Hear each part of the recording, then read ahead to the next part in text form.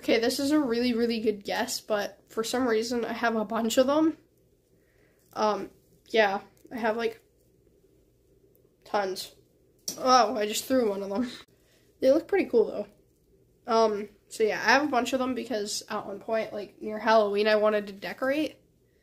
But yeah, it's an odd thing to have, and that's a really, really good guess, but I do have them.